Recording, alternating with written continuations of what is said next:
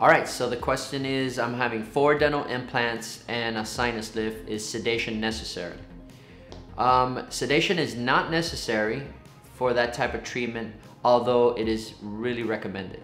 Um, in my practice, when I'm performing, performing that type of surgery, I typically my patients are sedated.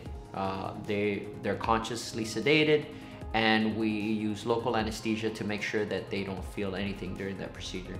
Those are delicate procedures that last a couple hours of surgery and um, typically you want to have your patient um, rested, you know, uh, without a lot of anxiety and, uh, and that helps with their recovery as well.